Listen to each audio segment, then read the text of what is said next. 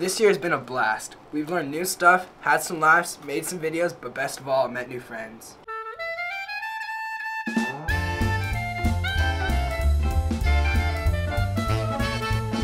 At the beginning of the year, we didn't know what to expect, but Mr. Bentley helped us adjust to a new school year. Within a week, we began to feel comfortable once again.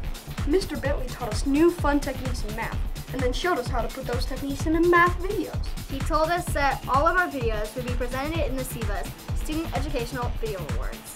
The next thing you know, we were making instructional films like crazy. But we had to put all that on hold because on October 14th through the 18th, we left to Mission Springs. Mission Springs was a fun-filled adventure around every turn, but it was also a great learning experience. The drive there was a three and a half hour long ride. For some, it was a very exciting joyride, but for others, it was time to go sleeping bag. The days were filled with hiking, campfires, and banana slugs. We all had a chance to be in the Banana Slug Club, and all we had to do was keep a banana slug on our nose for 10 banana slug seconds. But some people took that to the extreme. We also got to perform skits at one of the campfires. Unfortunately, that was our last night there, but on the way home, we got to stop at the beach. While we were there, we went to a place where we got to look at monarch butterflies. We also got to dig for a special type of crab called sand crabs. They were pretty minuscule, so we couldn't feel them even if they did try to pinch us. After we finished eating the lunch that they provided for us, we headed back to school where our parents were anxiously waiting for our arrival. They gave us big hugs and then we headed home. After that, we only had a week left of school until we tracked off, which we finished off strong. The second trimester passed in the blink of an eye, making videos here, learning new things there, Altogether, we had a great time, which brings us to the third trimester. The third trimester was a time where we had to try and wrap up all the videos that we had started in time for the SEVA.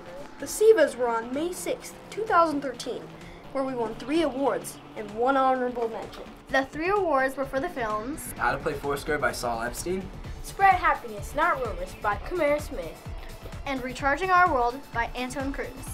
The honorable mention went to Meet the Idioms Mad as a Hatter by Ben Weir and Saul Epstein.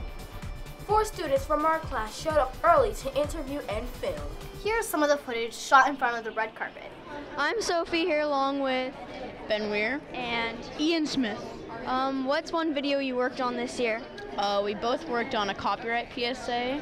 Uh, what was it about?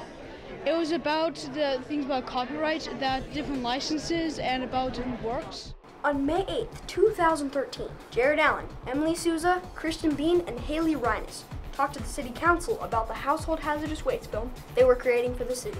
Saul Epstein, Ben Weir, and Sophie Ross came to film.